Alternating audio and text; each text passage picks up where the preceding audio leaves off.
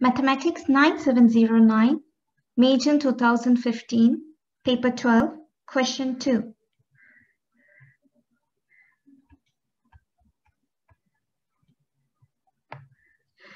In the diagram, AYB is a semicircle with AB as a diameter and OAXB is a sector of a circle with center O and radius R. So as you can see, this one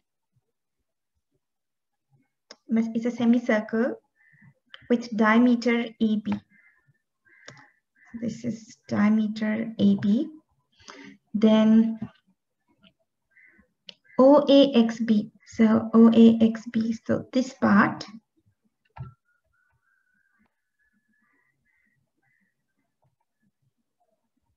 is a sector of a circle with center O. So O is the center and radius R. So the sector has a radius of R.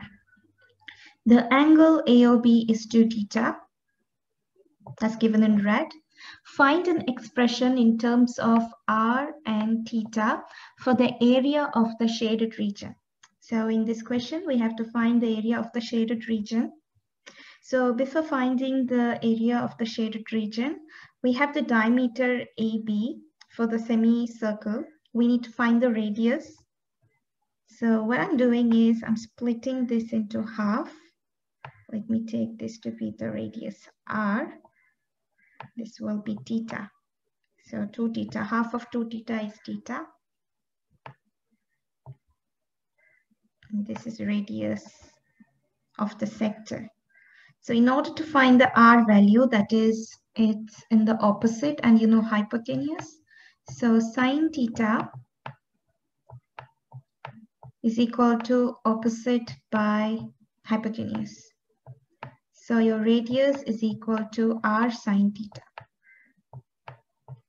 So radius of the semicircle is r sine theta. I've mentioned here r sine theta area of the semicircle. So area of the circle is pi r square. Semi, that means halved. So it is half pi r square. Instead of radius, I have r sine theta. There is a square, so we are squaring it. So when we simplify, we get half pi r square sine square theta. So this is the area of the semicircle. That means this part, area of the semicircle.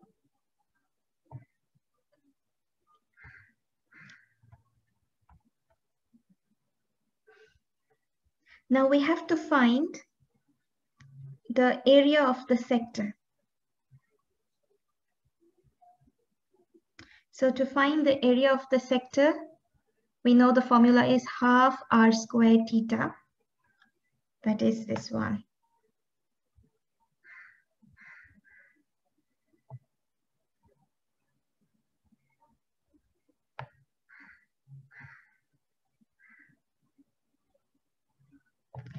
And if you want to find the area of the triangle AOB, that is half r square sine theta. So this is the triangle. So the formula for this triangle is half r square sine theta. So you can look at this diagram. If we want to find the segment, area of the segment, we subtract the area of the sector from area of the triangle. That means half r square theta minus half r square sine theta. Then we'll get the shaded region. So in this question, first we need to find the area of this segment and then subtract it from the semicircle. Why? Because we already found the area of the segment, um, I mean semicircle. This part is already found. Now, if I can find the area of this segment, if I subtract this, then I will get the area of the shaded region. So in this case, to find the area of the segment, area of the segment, I have to take the sector, which is half r square theta. In our case, the angle theta is 2 theta. So half r square 2 theta minus, in place of this triangle, uh, half r square sine theta. Again, in place of theta, we have 2 theta. So half r square sine 2 theta. That gives the area of the segment. Now we have to subtract this value from the semicircle. So half pi r square sine square theta, that is the semicircle, minus half r square sine 2 theta, minus of minus, so becomes plus half r square sine 2 theta. So we are subtracting the semicircle minus the area of the segment. That will give the area of the uh, shaded region. Uh, you can leave it here or you can further simplify. So you can see in all these terms, half r square is a common term. So I'm taking it out, half r square, then pi sine square theta minus half r square has gone. So 2 theta, here half r square is already taken. So you remained with sine 2 theta. So this is the expression of the shaded region in terms of r and theta.